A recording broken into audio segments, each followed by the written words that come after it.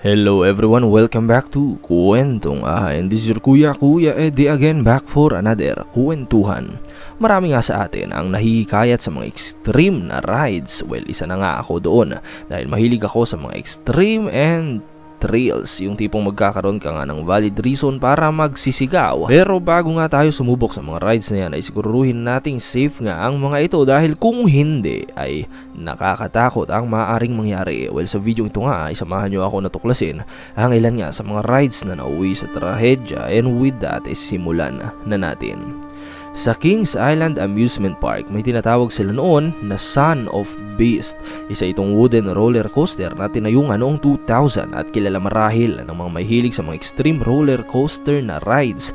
Ito kasi ang tallest and fastest wooden roller coaster sa buong mundo nga. Well, sa top speed niya ay umaabot sa 127 km per hour ang takbo mo dito kaya talagang lunod na lunod ka dito sa kakasigaw mo. Bukod pa nga dyan ay ito rin ang tanging wooden roller coaster nga na may loop gaya ng inyong nakikita. Well, to cut the story short, The fact na gawa ito sa kahoy eh hindi ito nakatulong sa safety nga ng tinaguriang Son of the Beast.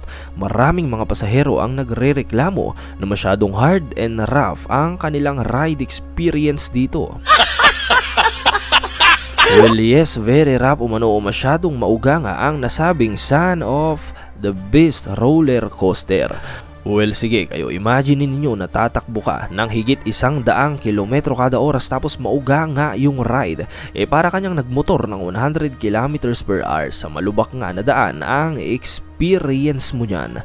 At noong 2006 nga, eh, isang trahedya ang nangyari dito. Habang tumatakbo ng ubod ng bilis niya ang isang bagon, eh, bigla itong tumilapon sa ere dahilan niya para magkanda tapon ang nasa 27 na mga sakay nito. Well, sa ginawang investigasyon niya, eh, lumalabas na nabiyak ang isang wooden support beam sa ilalim ng release nito kaya nga tumilapon ang bagon. Well, dahil nga sa nangyari ay pansamantalang pinasara ang ride na ito. Sumailalim nga ito sa rip repair kaya muling nabuksan noong 2009 pero hindi rin nagtagal eh, isa na namang aksidente nga ang nangyari.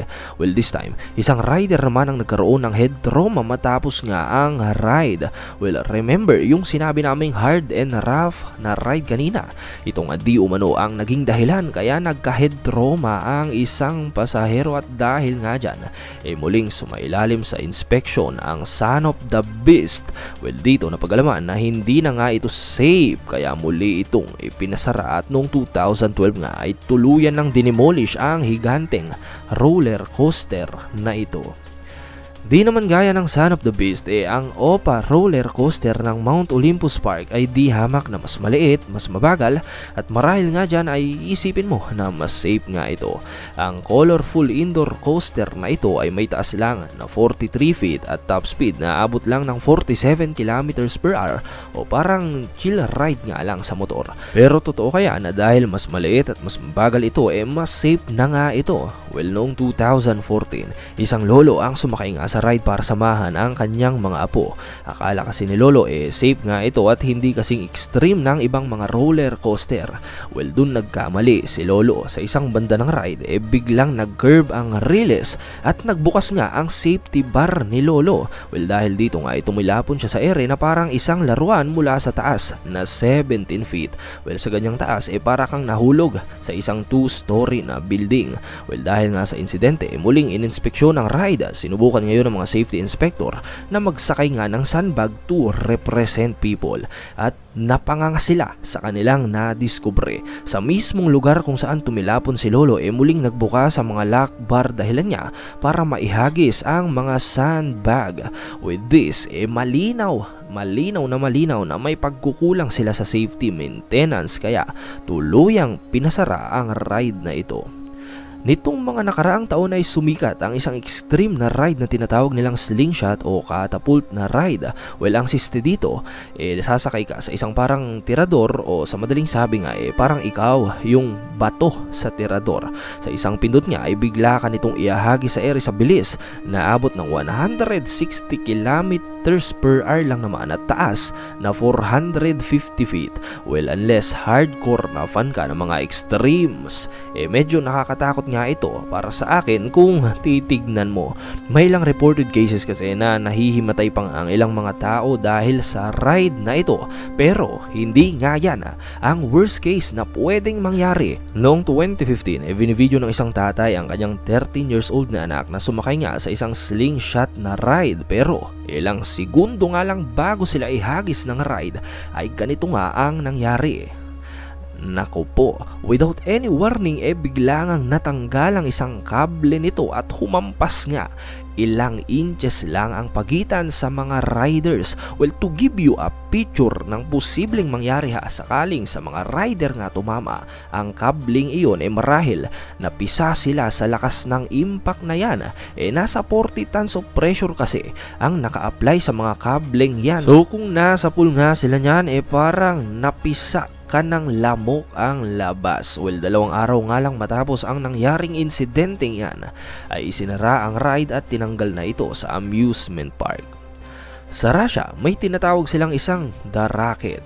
Isang extreme na ride ito na dinarayo nga ng mga taong malalakas ang loob. Sa ride nga na ito ay sasakay ang nasa sampung tao at tulad nga ng nakikita ninyo sa video ay iikot-ikot sila sa ere sa taas na 200 feet para itong carousel nga na naka-hell mode. Ang mismong sasakyan naman na hugis sa rocket ay iikot-ikot din ng kusa kaya upside down talaga ang posisyon dito ng mga riders. Well sa videong ito pa lang ay mukhang lala Lalabas na nga ang lahat ng kinain ko dito. Well, hindi ko alam sa inyo kung sa tingin nyo eh kaya ninyo ang ganyang extreme na ride. Well, para sa iba nga ay cool ito maliban lang sa isang batch nga ng mga pasahero noong 2010 nakuha sa videong ito. Nakalambitin ng sasakyan at literal nga na nakataya sa iisang kable ang buhay nitong mga pasahero. Well, nangyayari nga ito matapos mapatid ang isa sa dalawang kable na sumusuporta nga sa ride habang umiikot sa ere. Buti na lang at wala nang naihagis na pasahero sa insidente pero inabot pa rin ng isang oras bago tuluyang na-rescue nga ang sampung riders. Matapos nito ay pansamantalang isinara nga ang ride for repair pero muli itong binuksan sa publiko. Well, I wonder kung uulit pa ang sampung pasahero dyan. And with that, kayo, anong extreme na ride na ang nasubukan ninyo? Well, i-share nyo naman sa amin sa ating comment section. And well, kung nagustuhan nyo ang ating video, ay pakilike naman po and of course, ay mag-subscribe na nga kayo para lagi kayong updated sa mga gantong uri ng kwentuhan natin. And of course, eh, batiin na natin yung mga nakasama natin sa nakaraan nating mga kwentuhan. Salamat po ng marami sa inyo. And once again, ako nga pumuli ang inyong kuya si Kuya Eddie na nagsasabing Aha, may bago na naman akong nalaman. Thank you so much for watching and see you next time. Goodbye.